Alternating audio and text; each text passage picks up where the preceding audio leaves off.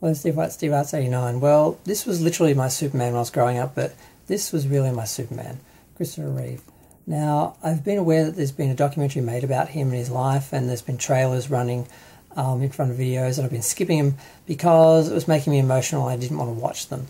Um, why is that? Well, because he was my Superman when I was growing up. Um, he was the Superman that was in the movies that I saw on TV. Um, he came to represent Superman and superheroes and everything that was good and everything he were supposed to sort of want to be and aspire to be. And um, my mum bought me the um, comic adaptation for part three. It had photos and everything in it, and I, you know, really sort of, you know, cherished that.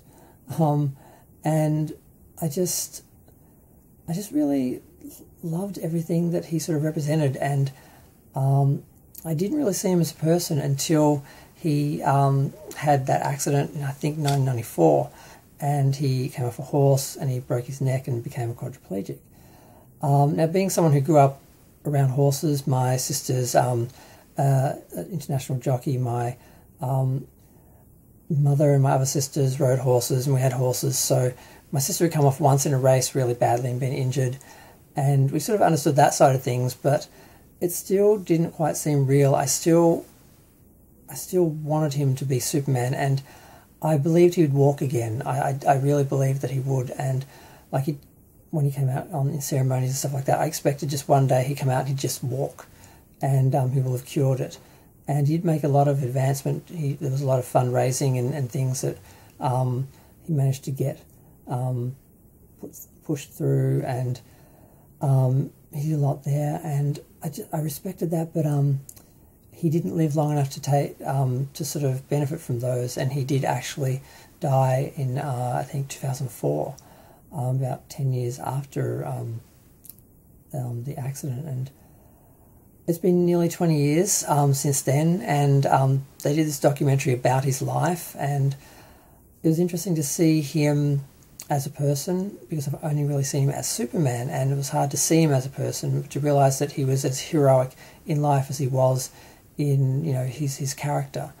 Um, I mean, the challenges that he faced, um, and how he managed to find the positive in it, the, the slowing down um, that his family sort of had to do uh, because of his his disability meant they actually spent more time together and they appreciated their time with him more than say if he was um, healthy and they were just running around with activities and being busy and not really having time to sort of sit down for each other. So there were some positives to it, and the example that he's um, wife, um, Dana, gave, where um, he wasn't sure if he wanted to go on right after the accident, and she said, "You're still you, and I love you," and everything that superficial that she might have valued about him was taken away, and it was really just his heart and his soul, his mind that was left, and that was him, and, and she loved him, and that was a message also that I think we sort of needed to see and hear, and um, they exemplified that sort of um, well, just love, and I just I just couldn't believe that you know he was, um, you know, paralyzed, and I couldn't believe that he died. I cried for like three days after he after he died. Every time I saw something on the news about him or, or thought about it, I would just cry, and and it's just funny to think how much someone I never even met meant to me because of the character they played and what they represented.